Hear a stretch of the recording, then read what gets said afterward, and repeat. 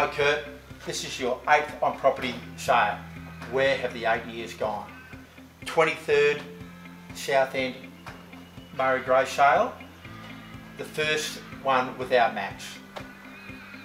Max has certainly left you a great foundation for you to grow from.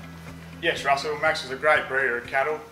He started at Southend in 1994, breeding Murray Greys here for 16 years. He bred some fantastic cattle. He loved the Murray Greys and was a big advocate for the breed. He's been a major influence in the way that I breed my cattle today and he'll be sadly missed.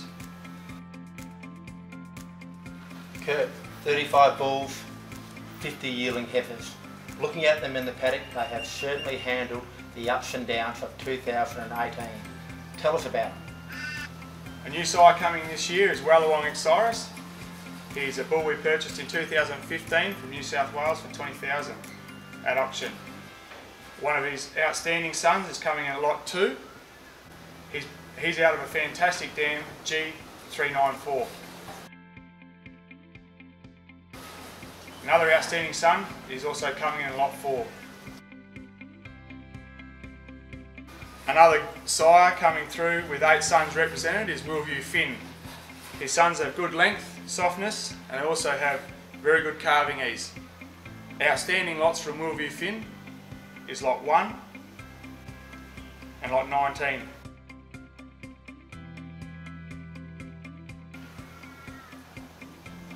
An AI sire represented our sale also is Lindsay Enforcer. His bulls have great carcass, power, more suited to the cow job. They are lot 5, 14 and 15. Two other sires represented in our sale is two homebred sires, Southend Gem with six sons.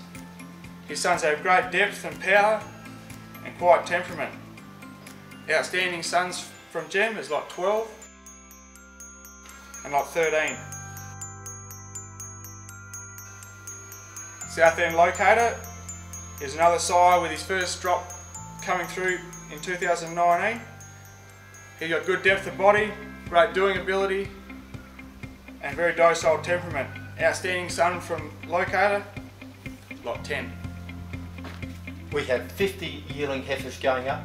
Kurt, they look an absolute picture in the paddock. Thanks Russell, I agree. They've come through this average season really well. There's plenty of weight in them. There's 10 registered individual lots coming through the ring and then there's 40 unregistered heifers in lots of five. Open for inspections by appointment. Sale on the 5th of February starting at 1.30 with a barbecue lunch. We'd love to see you there.